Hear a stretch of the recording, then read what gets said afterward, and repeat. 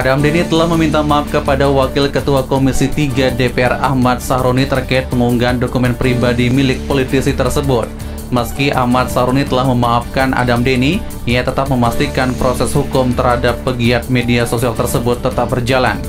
Ia ingin Adam Deni mempertanggungjawabkan perbuatannya tersebut. Hal tersebut disampaikan oleh kuasa hukum Ahmad Sahroni Arman Hanis seperti yang dikutip dari tribunnews.com pada hari Selasa di tanggal 22 Februari 2022. Menurutnya, permintaan maaf Adam Denny tak menghapuskan perbuatan hukum yang telah dilanggarnya tersebut. Adam Denny diminta untuk tetap dapat mempertanggungjawabkan perbuatannya tersebut, apalagi kasus tersebut kini telah akan maju ke meja persidangan. Lebih lanjut, Arman menyampaikan bahwa kasus ini bisa menjadi pembelajaran bagi semua pihak untuk lebih berhati-hati dalam bersosial media. Diberitakan sebelumnya, penggiat media sosial Adam Denny kembali muncul ke hadapan publik Kali ini, dia membuat video permintaan maaf seusai tersandung kasus dugaan mengunggah dokumen pribadi tanpa seizin pemilik atau ilegal akses.